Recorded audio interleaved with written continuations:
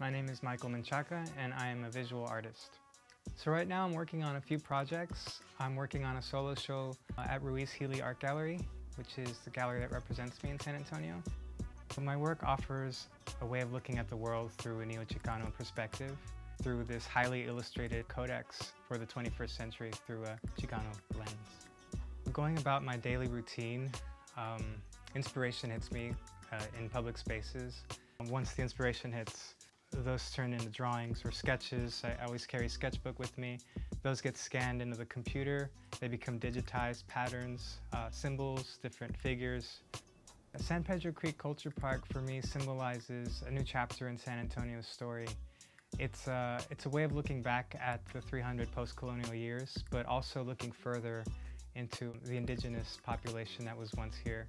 My contribution to the San Pedro Creek Culture Park is a set of new tile designs inspired by the different locations along the San Pedro Creek.